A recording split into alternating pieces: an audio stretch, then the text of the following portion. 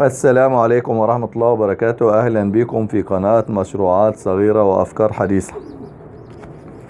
آه، موضوع النهاردة ردا مو- عن أنواع السرنجات ردا على فيديو الزغاطة اللي عملناه باستخدام السرنجة دي. أهو السرنجة دي بتاعت سرنجة قسطرة لأن لما عملنا فيديو الزغاطة في تعليقات كتير بين مؤيد ومعارض تعالوا نشوف مع بعض اولا المعارض معارض ليه والمؤيد مؤيد ليه؟ أهو. المعارض لموضوع سرنجة الزغاطة ربما إن هو لم يجد السرنجة المناسبة اللي زي دي. وهوري لحضراتكم نوع تاني كمان. آه، في بعض الردود اللي في التعليقات انتقادات مثلا في حد بيعترض على العلبة العلبة الصفيح اللي بنستخدمها يقول يعني أنت بتستخدم علبة صفيح إزاي يعني بتستخدم علبة صفيح؟ هو بي- بيعترض إن هي ربما تكون غير صحية. أهو حضراتكم دي علبة نوع من أنواع المربات مش مهم نقول هي نوعها إيه لكن أهو حضراتكم مربى فراولة من النوع نوعها ممتاز أنا دايما بجيبها. أهو حضراتكم شوفوا قلب العلبة. مش عارف هو بيعترض على إيه ما فيش فيها صدى. وده علبة فاضية مركونة من زمان. أهو ما فيش فيها أي صدى إذا كان وزارة الصحة مصرحة بيها للإنسان يأكل فيها يبقى يعني آه، الحمام يعني هتعمل في الحمام إيه؟ أهو حضراتكم خلاص انتهينا من موضوع العلبة. تمام؟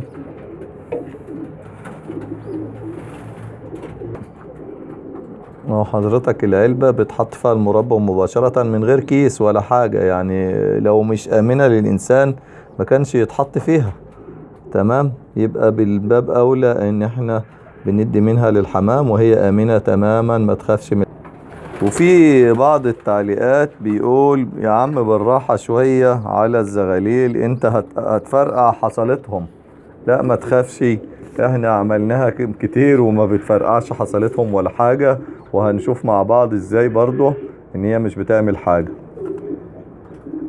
إحنا بنساعد الزغلول آه مش أكتر مش بنموته إحنا بنساعده وده للضرورة بنلجأ ليه في حالة الضرورة فقط؟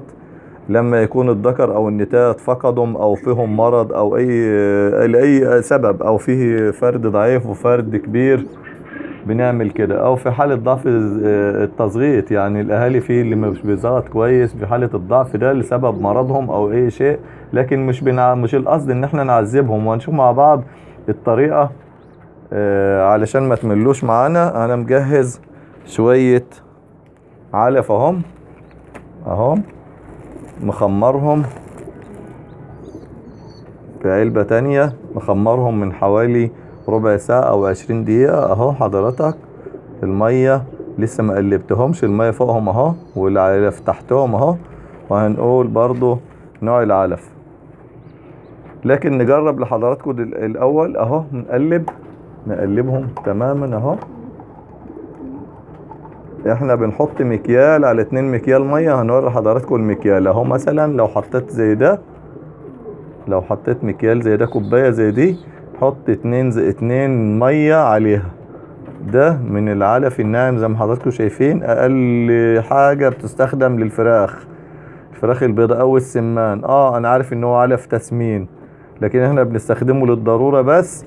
لو في حالة إن إحنا هنربي الحمام لكن لو هتذبحه زغط منه مفيش مشكلة. زغط منه هيسمن لك الزغيل ويخليها كويسة. أهو هنقلب هنقلب تمام؟ نقلب كويس جدا وبعد كده نسحب. هي بقت يعني خفيفة جدا عشان تتسحب. أهو سحبت أهو. بتتسحب سهلة.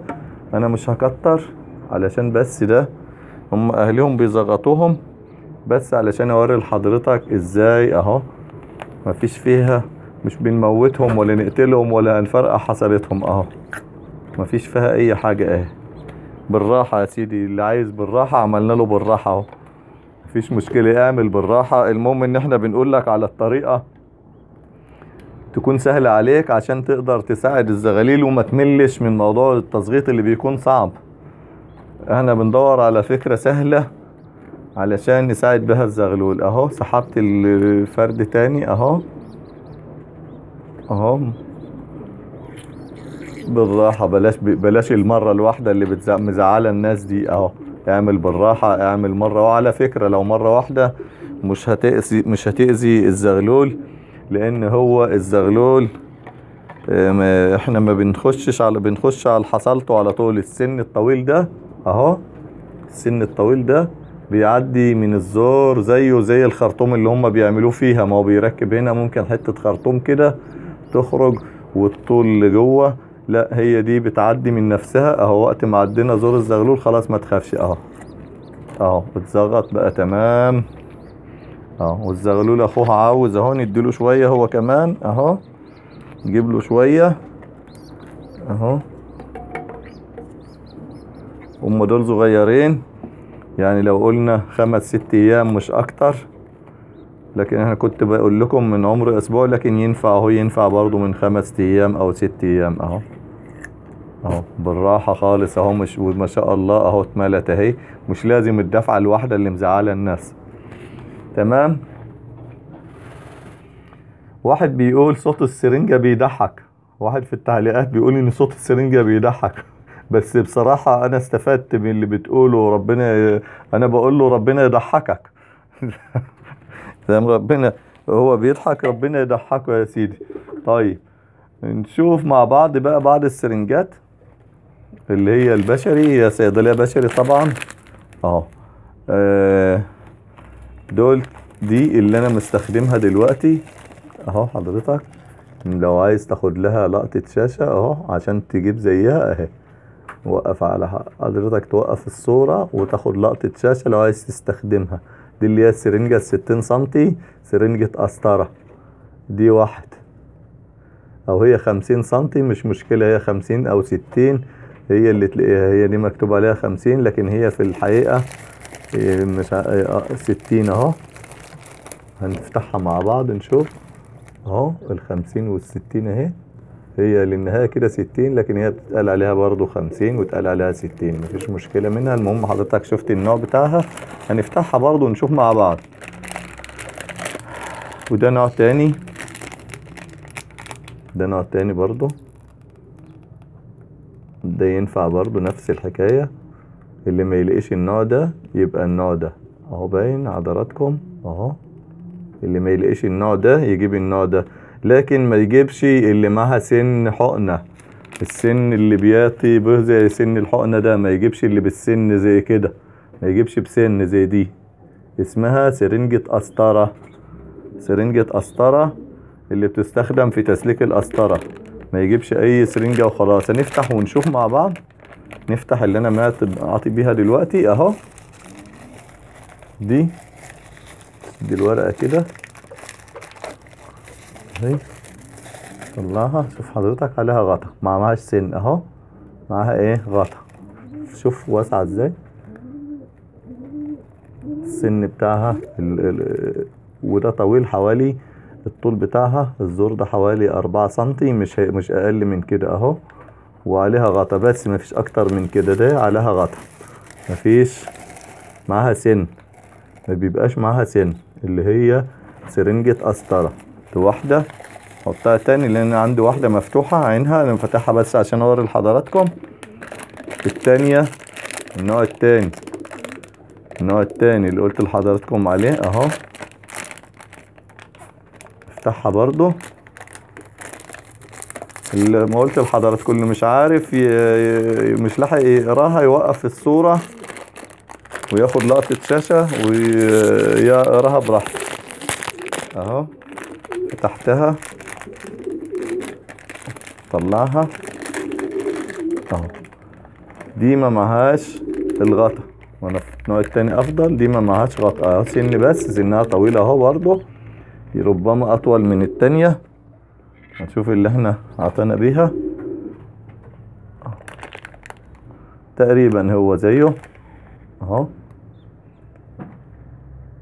اللي طالع منها ده أو أطول حاجة بسيطة ملالي يعني مش هتفرق. ده النوع التاني أهو.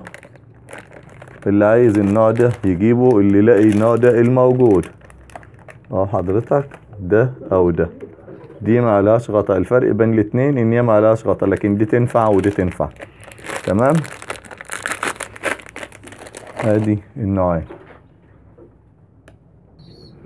زي ما قلت لحضرتك دي ما تشتريهاش مش هتلاقيها غير في صيدلية آه، الصيدلة البشري أو بعض الصيدلات البيطري ممكن يجيبها معرفش أو لأ.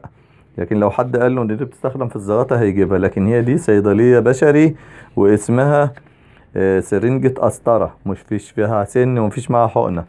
طيب في حد قال لي إن علف التسمين ما ينفعش آه، ما ينفعش غير لزغاليل الذبيح أقول له فعلا أيوه لو أنت هتزغط فترة طويلة لكن إحنا بنساعد بس الزغاليل ولما نكون عايزين نذبح نزغط فترة طويلة مفيش مشكلة يعني لكن إحنا بنساعد آه، الزغاليل بس يوم أو اتنين وبعد كده نرجعهم لأهاليهم تاني.